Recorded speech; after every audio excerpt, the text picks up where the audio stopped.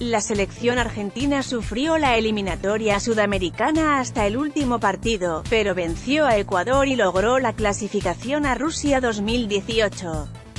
Menos de 100 días para la gran cita mundialista, Jorge Sampaoli hará todo el esfuerzo para llegar al máximo evento futbolístico del planeta con los mejores jugadores y con su idea de trabajo aceitada, a quienes convocará el técnico casildense, si bien es cierto que aún falta tiempo. En Gol te mostramos quiénes serían los 23 que viajen a Rusia con la albiceleste, con un margen de error en algunos puestos donde hay algunas dudas, arquero Sergio Romero, el de Rusia será el tercer mundial de Chiquito, que es el titular indiscutido para Jorge Sampaoli.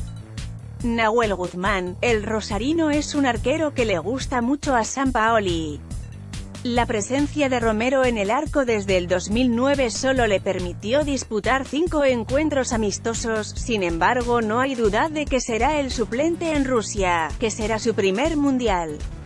O Caballero, el experimentado jugador de Chelsea se metió en la última convocatoria y, con la Copa del Mundo tan cerca, tiene todos los números para ser el tercer arquero del plantel en Rusia. Si bien podría parecer un lugar testimonial en la lista, para Willy sería el broche de oro para su carrera. Defensores Nicolás Otamendi, uno de los pilares fundamentales en la defensa de la selección argentina en los últimos años. Jugará su segundo mundial tras no ser convocado a Brasil 2014.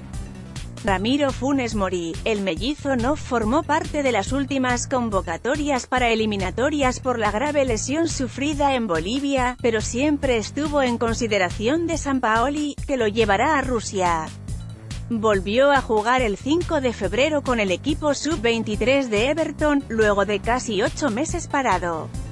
Gabriel Mercado, otro de los jugadores fundamentales en la defensa argentina en el último tiempo. El de Rusia será su primer mundial. Germán PZLLA, el defensor de Fiorentina fue una de las sorpresas de San Paoli en su primera convocatoria como técnico de la selección y será uno de los 23 en Rusia 2018. Federico Fatio, fue citado en la primera convocatoria de San Paoli ante una lesión de Mascherano y, a partir de allí, fue uno de los elegidos por San Paoli en las citaciones siguientes será una de las alternativas en la defensa. Nicolás de AGLIAF y CO, el lateral izquierdo de Ajax finalmente recibió su oportunidad en la convocatoria para enfrentar a España e Italia y tiene todos los números como para quedarse con una plaza entre los 23. Marco Rojo, otro que, al igual que Funes Mori, pasó mucho tiempo lesionado pero nunca dejó de estar en la consideración del DTE. Su capacidad de jugar tanto como central como de lateral izquierdo le suma muchos puntos. Volantes Javier Mascherano, si bien el entrenador lo probó en la defensa, el jefecito volverá a la mitad de la cancha, donde está jugando desde que pasó al fútbol de China. Es el hombre más experimentado del plantel, en total participó de tres mundiales, 2006,2010 y 2014, y de las últimas cinco Copa América. Ángel Di María, el DT de la albiceleste lo describió como aquellos jugadores que te cambian un partido.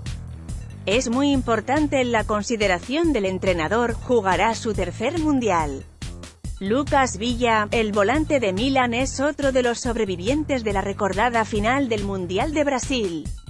Se convirtió en un futbolista fundamental para Argentina en los últimos años y con diferentes entrenadores, será su segundo Mundial.